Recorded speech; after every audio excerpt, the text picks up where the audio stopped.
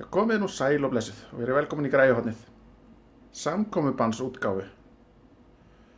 Nú erum við búin að vera lokuð út úr æfingahúsnaðan okkar í, ég ætla ekki að verða mánuður. En við erum ekkert, við erum ekkert hætt og við erum ekkert í fríi, það er alveg, alveg nóg að gera í sjálfu sér sko. Þó að, þó að við séum ekkert að hittast, þá er, þá eigum við svona, við erum drast hérna heima og getum búið til læti og erum jafnvel að semja lög og senda á milli og ímislegt. En það er kannski skemmtilegt að fara í gegnum svona hvað það er sem maður er með heima hjá sig til að vinna tónlist heima. Þetta er svona stofu, stofuriks rundown eitthvað svolítið. Um, erum við ekki bara að byrja svona kannski á byrjum kannski á svona minnst spennandi partinum en kannski ekki mikið að síningu svona í tölvunni ég er með þennan forgreip hérna sem að fylgdi með einhverjum gítar sem ég kæfti og svona í það sem ég er að gera í tölvunni er, er það nóg.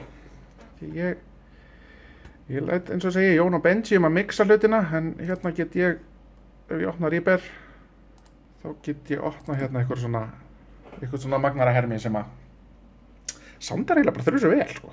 Hérna getum skipt um ykkur prísitökar ég er ekki búin að finna út einu svona hvernig ég vista prísitökna þannig ekki búast við því að þetta heyrist á einhverjum official upptökum því þetta heyri, hljómar allt eins og það sem að gæin á baku þetta hann hann flöff ég, ég vil ekki hljóma eins og hann þó að, þó að hann kannski hljómi vel þá. En uh, færum okkur hérna. Ég á svona, svona lítið hljómborð líka. Gaman að því, ég er ekki meira það svona kassagítarar. Það þurfa allir að eiga einn eða tvo eða fimm. Ég á allavega tvo. Þennan hérna er ég búin að eiga ógeðslega lengi einhvern tíðan, síðan einhvern tíðan síðustöld.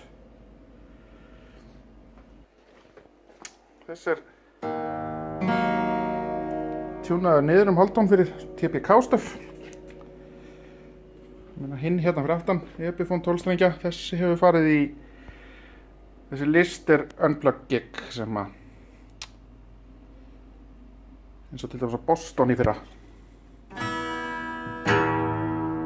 Ekki um notar í tíma kannski aðeins að tjúnan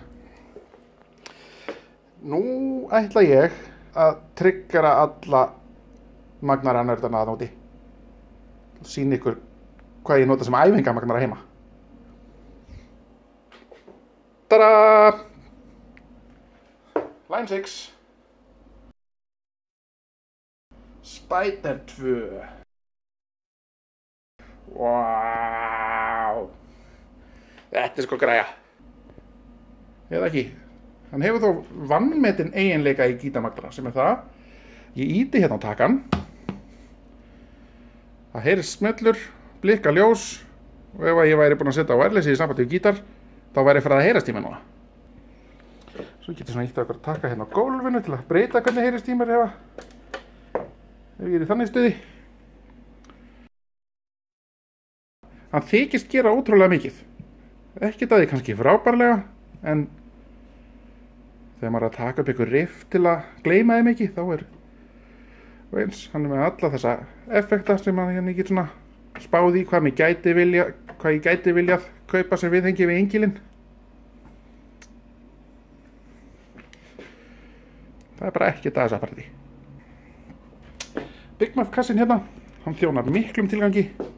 Við ítum hann svona cirka hingað. Þá var hann komin fyrir miðja keiluna. Svo setjum síman hérna ón á. Þá var þetta svona mikrofónstatífið mitt þegar ég er að taka riffteipin mín. Og ég þarf ekki meira því að 90% af þessum sem ég er að taka upp úr þessum magnara er fyrir mig að gleyma því ekki. Hinn 10% sendi ég á Jón til frekari vinslu og fyrir hann að læra og eitthvað svona litlu, þessi litlu gömlu digital kríli hafa alveg sinn stað á stund og það er akkurat þetta að einföld leið til að láta hljóma eins og þú sért að spila í græjum og svona fara í gegnum alls konar sound sem að í leitinni að því sem að þú vilt síðan uppgreita. Og svo er svo mikið til af þessum nótuði ég held ég að borga 15 skall fyrir þetta. Já, ótrúlega mikið hlutur sem kostuði 15 skall ég held að Epiphone þarna hafa kostað 15 skall líka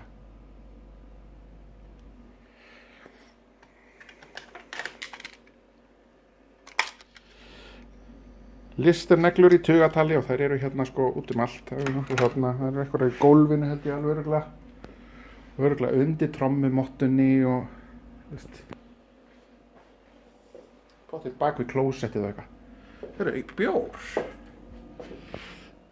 Hann getur átt þátt í sköpunarferlinu líka. Vill svo til að ég er að taka þetta upp rétt og finna þetta á þessu degi er það nokkuð annað að gera en að henda sér eitt fössara ah næs skál fyrir því. Heldur svo áfram í gítarna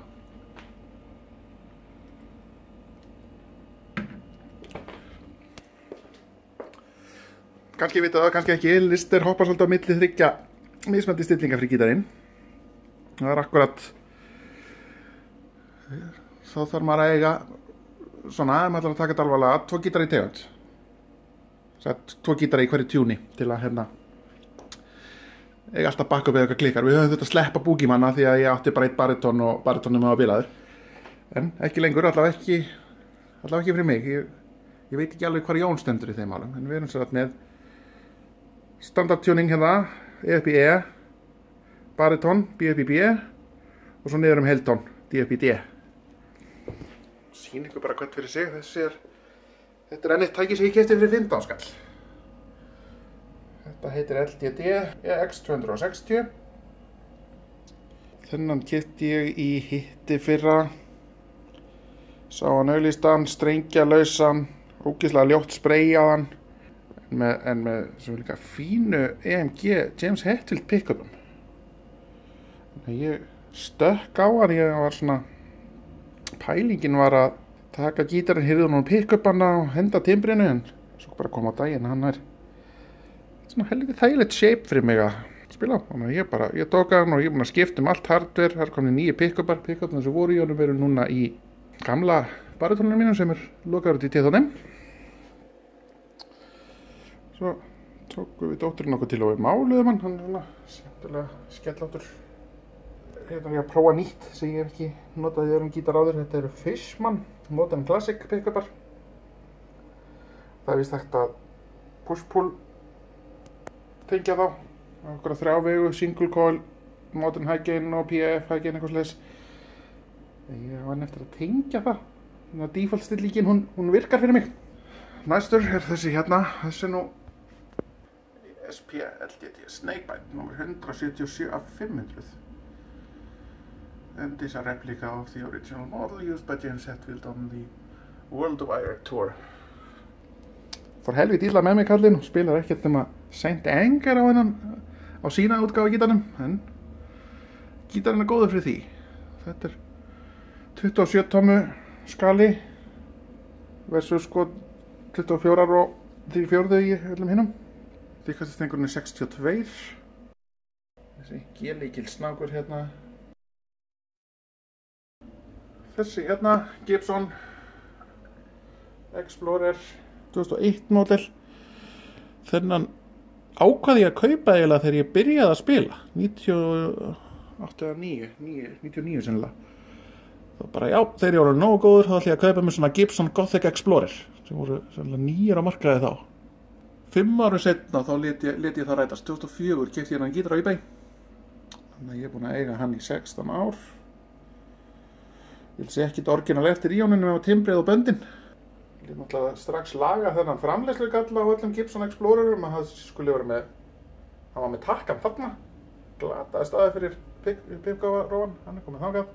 Tveir voljum og þeir eru ekki samstæri eins og þeir af því að ég er nýbúin að skipta um pick-up í hann þetta skipta um takkana undir. Og sjálfsögur passaði Gibson takkanir ekki á, á EMG viðnáminn. Þetta er satt EMG 85 EMG 60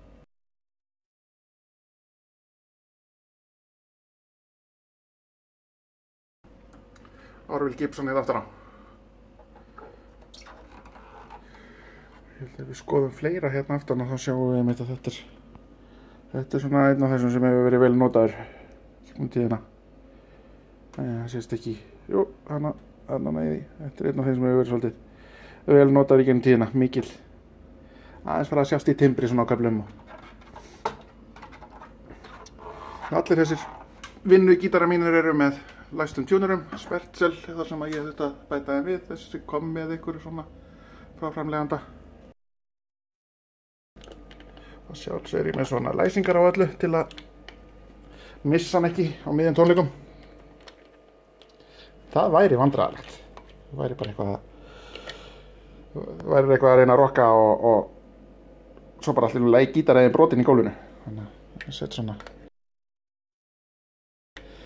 gaurar hérna yfir. Já, spilar á rafmaskítari. Hvort þetta er meiri svona stratti að Les Paul típan? Uh, já, já. Þess kannski við kíkjum á þetta. Þetta er eiginlega meira bara líka sem þetta tæki hérna. Þetta Yamaha DT Express trómusett gammalt. Bara, þetta er, þetta er vinsalasta, þetta er spil hérna í er vinsalasta leikvangi þegar að ég hérna þegar það eru barnamæli hérna þá standa börnin í röð að fá að tromma. En svo er hérna bassa hérna Epiphone Thunderbird sem kostiði mig ekki mikið þó sennilega meira en 15 skallin sem að margir hlutir hafa kostið mig. Þessi tjúna er D það var alltaf, það var alltaf planið búið að vera planið í 15 ára að fá fimmstreikja bassa á mótorun en ég finn mér alltaf eitthvað annað að gera við peningin minn Что это сена? In Soviet Russia. Guitar plays you. Да. Þetta er hann. Þetta er hann að. Dimitri. Einhvern tíma var þetta skvægir. Svona startpakka skvægir. Tók hérna. Ég var að selja einhverjum einhvern epifón og tók þennan á 5.000 skall upp í. Málaðan gulan eins og, eins og lötuna sem ég átti þegar ég fyrst fekk bílpróf. Ógeðslega lélegu gítar. Hann er tjónaður flatt, sett niður um haldón, tjónaður niður um haldón fyrir TPK stöf og ekki notaður í nema þrjú lög. Þá þarf maður ekkert blað, þá skrifa maður það bara, þá þarf bara að skrifa með tús aftan á gítarinn sko. Það er alltaf þessi þrjú og alltaf í þessari röð. Og eftir það er prógramið hjá tríón yfirleitt búið. Listaverk í bjóta til. I made this þá er þessi túrn eiginlega bara búinn. Ég er með eitt hérna í viðbóta gólfinu sem að ég ætla að býða aðeins með að segja ykkur frá nánar. Segjum ykkur meira frá þessu í sumar. Svona eru hverju megin við þann tíma sem við förum kannski að gigga eitthvað aftur. Já, þetta var svona eldsnögg yfirferð yfir það sem að þetta tæki sem að ég hef til að skapa tónlisti með mér. Þetta er ekkert, er stúdíó, en það ég er bara gítarleikari. Ég kann ekki þetta upptöku upptökufundur. Jón og Benji með eða. Það en ef það er eitthvað sem að þið viljið vita meira við höfum kannski að draga Jón eða Benji inn í mynd til að útskýra þá endilega látið ykkur heyra hann í kommentunum. Ítið á rauðatakkan hvort það stendur á hann á áskrift eða subscribe það breytir leðst því hvernig hvernig YouTube er stilt ítið á hann ef þið viljið ekki missa af í framtíðinni. Íta bjölluna hún virkar vist eitthvað líka til að þið missir enn síður af. Annars bara ætla ég að hætta að blara og segja skál og hvernig næst